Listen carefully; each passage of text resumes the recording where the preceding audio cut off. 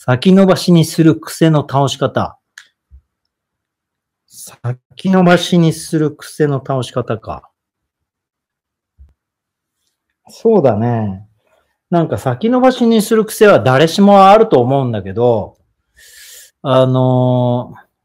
先延ばし癖は、まあいいかが始まるんだけどさ、あのー一日のうちに、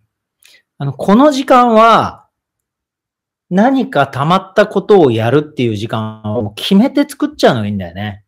俺は本当にこの深夜0時から、あの、3時までの間を、あの、そういう時間に当ててんのよ。結構。まあ、0時、3時、まあ5時ぐらいまでの、朝の5時ぐらいまでの間を、なんかやらなきゃいかんことやる時間に決めてんのね。それまではもう一切やらないでいいってこう自分に許してるんで、その、例えば30分でもいいから、なんかやる時間とか作って、最初ほんと5分とかでもいいって言うんだよね。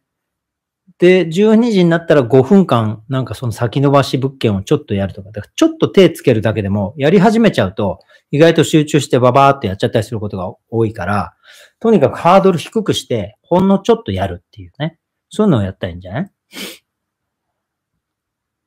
俺は、俺は常にそういうふうにやってんだよね。なんか、あの、最小の努力を毎日続けるっていうのをテーマにしてたら、いつの間にか3時間できるようになってたから、